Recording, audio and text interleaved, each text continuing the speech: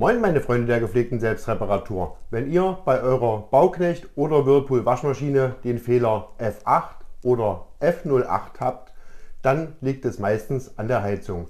Wie man die Heizung prüfen und austauschen kann, möchte ich euch in diesem Video zeigen.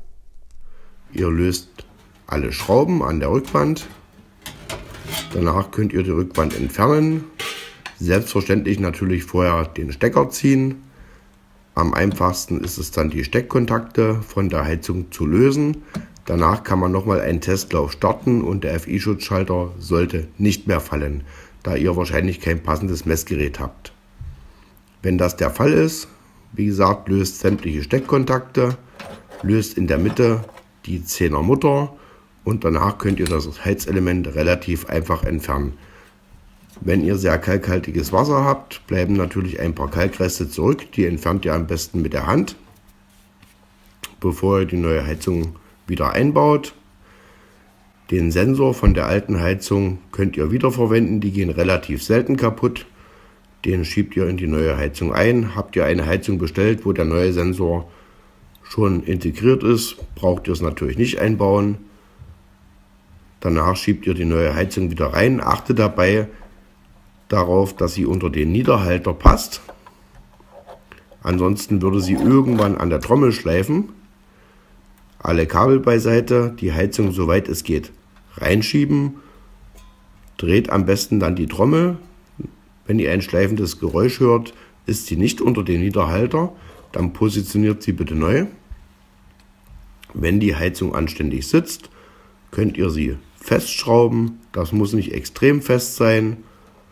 Dabei drückt sich eine kleine Gummilippe von innen an den Bottich heran und dichtet relativ gut ab.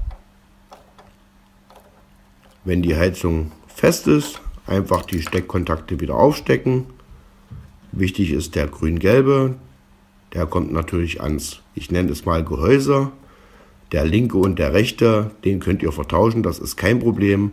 Und dieser kodierte Stecker kommt wieder auf den NTC, also auf den Temperaturfühler drauf. Wie gesagt, der linke und der rechte, da ist die Reihenfolge relativ egal. Danach zieht ihr am besten den Keilriemen wieder auf, der euch sonst im Weg ist.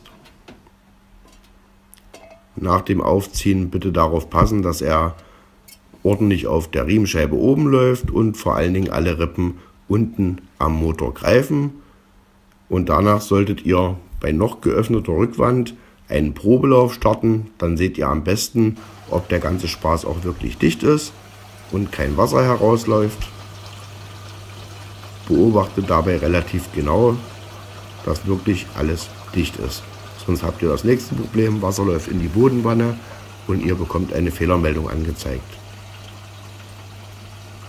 Sollte es nicht dicht sein, dann einfach die Schraube noch etwas anziehen aber diese Heizungen sind relativ einbaufreundlich. Hier seht ihr mal die alte Heizung. Meistens an irgend so einer dunklen Stelle ist ein kleines Loch und dadurch löst es diesen Schutzschalter aus. In diesem Gebiet war extrem kalkhaltiges Wasser, deswegen sieht der ganze Spaß so aus. Und nun sieht man, es dreht sich alles, es ist alles dicht und man kann die Rückwand in aller Ruhe wieder anschrauben und hat sich relativ viel Geld gespart.